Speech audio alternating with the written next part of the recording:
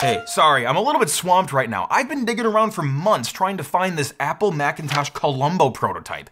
It's actually pretty rare, it never made it to the public. The good news is, I think I'm almost halfway, 10% of the way there, and when I find this thing, it's gonna be the crown jewel of my collection. Hey Steve, what's up? Hey, Ken. I found that prototype you're looking for on eBay. What the sh- Hey guys, how are you all doing? If you're new here, welcome. My name is Krazy Ken, and this is the Apple Macintosh Columbo prototype. When I saw this pop up on eBay, I immediately cross-checked the seller's photos with Rick English's photos in the Apple design book. And the model looked incredibly similar. It looked legit. So Columbo has been on my mind ever since. This particular product never made it to retail. In fact, it never really made it to the working prototype stage.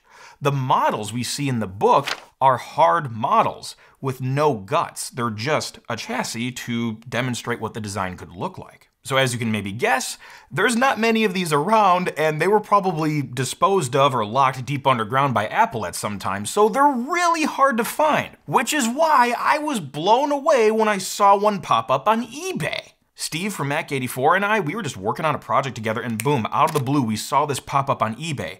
But the seller wanted $25,000 for it, which, as you can imagine, is a little bit out of my price range. Donate to my Patreon. Then later, it was listed on Craigslist for $12,000. Better, but still a little steep for me. So, it's a little hard for me to get my hands on it. But I have an idea. Now, the guards will probably not let me out of this lair, so I need to secretly hire some spies so they can go capture some images of this rare computer product.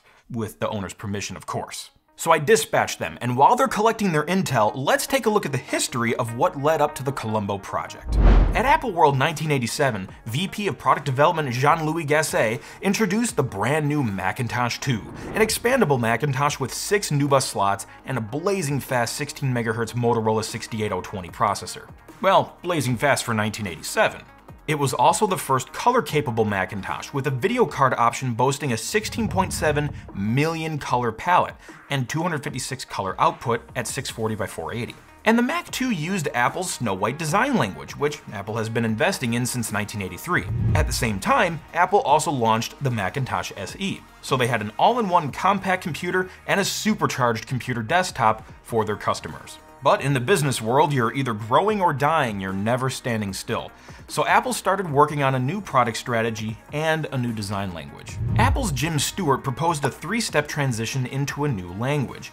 And internally, this was named Goldilocks and the Three Bears, or G3B. Ultimately, Gassée didn't like this whole transition idea. He thought it would take too long, and I guess I can understand that. But he wasn't the only one at Apple who found flaws with this project, and in the end, G3B didn't go very far. The funny thing is, in reality, the whole transition to the new design language ended up taking a long time anyway, but we'll talk more about that soon. So Apple moved to a new strategy called Tops and Bottoms. The premise was simple, offer a badass file server Macintosh solution at the top, and a more affordable modular Macintosh solution at the bottom.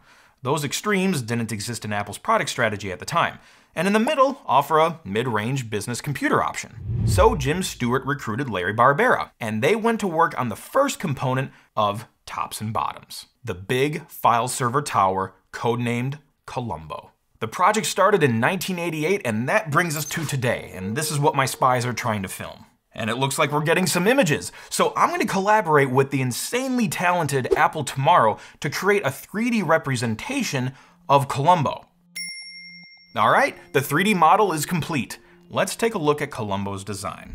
Columbo was a supersized Macintosh 2 with a vertically mounted logic board, and it was designed to stand on the floor instead of sitting on a desk, and it was going to feature dual Motorola 68030 processors, making it Apple's most powerful Macintosh ever. Also, this model's rear plate actually still says Macintosh 2 with the Mac 2's M5000 model number, the typical snow white stripes were not present in the new design, as Apple was shifting to a new language, but there were still thin cut openings for ventilation. The design was comprised of two interlocking boxes to help the unit appear less massive and look more visually interesting.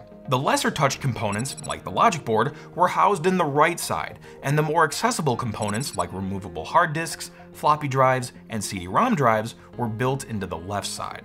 Now, the tower still looked very chonky and square, so to soften it, a 50 inch radial curve was added to the front.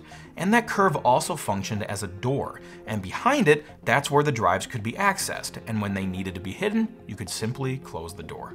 One could argue this door premise influenced future Apple designs because you see doors on quite a few products they released in the future. And that interlocking box design is also kind of similar to the Power Macintosh G3 Mini Tower. So I wonder if there was some influence there too. Food for thought. Columbo also had a smaller door to cover the reset and interrupt buttons, and the locking mechanism for power on off. The particular physical model I found does not have a door over these buttons, so I'm guessing at least one revision was made internally, but there were probably a bunch of revisions made, let's be honest. Another focus for Columbo was built-in cable management. This hard model does not have that, but that was something Apple was working on. This makes sense because if this is truly going to be a file server and maybe you have a couple of them set side by side, you're going to want cable management. So Barbera ended up calling this new design language New Look, and it was also used in the desktop version of the Columbo project. And this particular Mac had more of a pizza box style. It actually sat on your desk, and the monitor was built in such a way where it could slide in and lock on top of the computer, and it would look like the whole thing was one unit, even though they were two separate pieces of hardware. So it seemed like a good product strategy was falling into place. Apple had three tiers of new Macs, better options for customers, and they were working on a new design language to get them ready for the future and to make something that felt approachable. However, New Look and Columbo were ultimately canceled. Gassée didn't like the curved door anymore, even though he was generally outnumbered on that decision. But more importantly, market research concluded that it wasn't in Apple's best interest to compete with other server and workstation type machines from other companies. At companies like Apple, it's not uncommon for this type of cancellation to happen. Oftentimes, designers will have products prototyped or demoed before all of the market research is done. So you'll have maybe a couple of units here and be like, hey, these are cool. But then once the market research is done, those guys will be like, mm, we don't have a need for that. And then cancel those things. So it's not too uncommon. It happened a lot at Apple during this time. But there's a light at the end of the tunnel. Bits of Columbo's DNA evolved into the Quadra 900.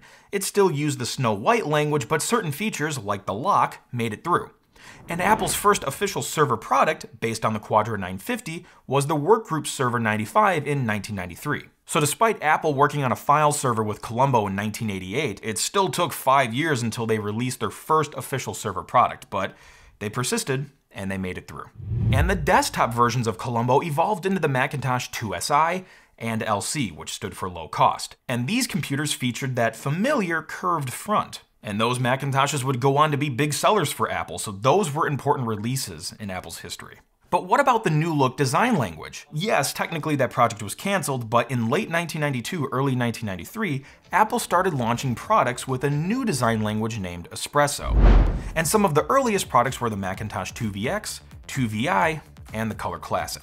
Less stripes, more curves, breathing gills, and baby elephant feet were present in many Apple products in that era. And Espresso lasted for about six years until the first gen iMac and the Studio display ushered in a new look with Steve Jobs' return to Apple. As for the hard model we filmed, I put the owner in touch with RR Auction. It's an auction house I have used before, and my friend Alfred recently sold a Steve Jobs business card on, so I trust them. I think this is a more appropriate place to get the unit in front of a true, serious collector, but more importantly, it's also a great place to get an appraisal on what the unit could be worth. It's going to be tricky because this is the only one I know of in existence, so hopefully someone can figure out how much it really is worth. From my assessment, and I cross-checked this with another collector, it's going to be nearly impossible to sell this thing for 12,000 bucks, let alone 25,000. Because it's really worth about 2,000 to 3,500. But that's still a decent amount of money. It's still a really cool collectible, and it's rare. I've never seen one in the wild. So I wish the seller the best of luck, and I hope the Columbo goes to a good home. Also, there's many other canceled Apple projects like this, and I would love to do more episodes about them. And if you want to see those, make sure to leave a like so I can gauge interest. And if you'd like to see more rare and retro tech from the Computer Clan, feel free to check out this playlist and subscribe for more tech episodes coming out every week. Now, I'm off to binge a Columbo marathon. What? It just seemed appropriate. Catch the crazy and pass it on.